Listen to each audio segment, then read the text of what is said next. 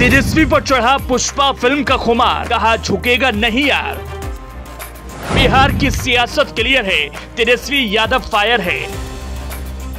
तेजस्वी का सियासी agenda set. राजनीति में बढ़ा तेजस्वी का बेट। चारों तरफ़ तेजस्वी का हल्ला। शहर, चौराहा और गूंजे मोहल्ला। बिहार की सियासत जितनी सियासी है, उतनी ही फिल्मी भी है। बिहार की राजनीति की ए बी सी डी में गुणा गणित भी बहुत है, लेकिन अगर नेता सूत्र नहीं जाने तो सवालों का हल निकलना मुश्किल हो जाता है। नीतीश के साथ सरकार बनाने के बाद तेजस्वी यादव ने साफ़ साफ़ संदेश दे दिया कि वो किसी भी हद तक सियासी समीकरण को बांधे रखेंगे। उसके लिए अगर उनको फिल्मी डायलॉग को भी लागू करना पड़ेगा तो वो राजनीति में ज़रूर करेंगे। तेजस्वी यादव हर हाल में बैकफुट पर जाने को तैयार नहीं। तेजस्वी यादव ने अपने प्लान को जो धार दी है, वो किसी भी बिहार के नेता ने अब तक नहीं दी। तेजस्वी की हिम्मत को बढ़ता देख बड़े बड़े दिग्गज नेता भी अब सोचने पर मजबूर हैं कि कैसे तेजस्वी को रोका जा सकता है। बिहार की सियासत में बस एक ही चर्चा है कि जो नेता गठबंधन में डिप्टी सीएम है, जब सरकार को ही चुनौती दे सकता है तो बिहार की जनता के लिए क्या कर सकता है? बस फिर क्या था? बिहार की राजनीति यहीं से नए रंग की धार में जुट गई। डिप्टी सीएम के तौर पर बिहार की राजनीति अब तेजस्वी के नाम से जानी जाएगी, क्योंकि पुष्पा फ़िल्म की फ़ेमस डायलॉग पर तेजस्वी यादव अब राजनीति करने उतरे हैं और विपक्ष को संदेश दे दिया है कि वो झुकेंगे नहीं। सत्ता पक्ष हो या विपक्ष, पिछले कुछ दिनों से आरजेडी और बिहार के शिक्षा मंत्री चंद्रशेखर पर हमलावर है।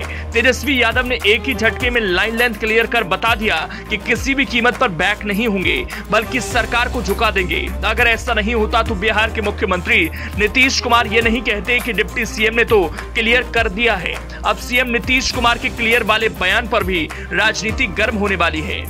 क्योंकि तेजस्वी के फैसले को नीतीश कुमार भी काटने से पीछे हट रहे हैं। तेजस्वी ने कह दिया कि वो झुकेंगे नहीं तो नीतीश भी प्रेशराइज नहीं कर रहे।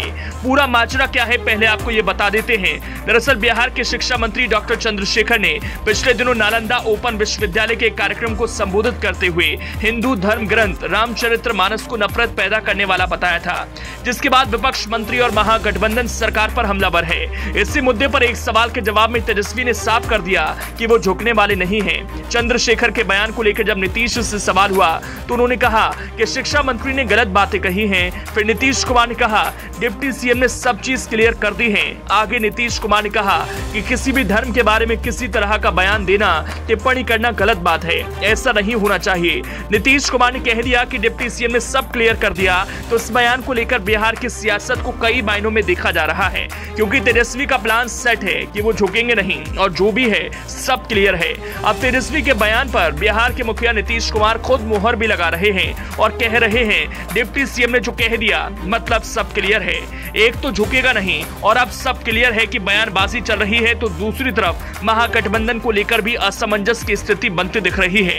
रामचरित्र मानस को लेकर छिड़े संग्राम में महागठबंधन भी उत्तराखंड के जोशीमठ की ज़मीन हो गई है, जिसमें कभी भी दरार आने की संभावनाएँ लगने लगी हैं। नीतीश कुमार और तेजस्वी यादव के बयान से तो ऐसा ही लग रहा है कि महागठबंधन में सब ठीक है, लेकिन जो दिख रहा है, वो है नहीं। महागठबंधन के नेताओं द्वारा जिस तरह बयानबाजी की जा रही है, उससे तो यही लगता है कि कुछ भी ठीक नहीं।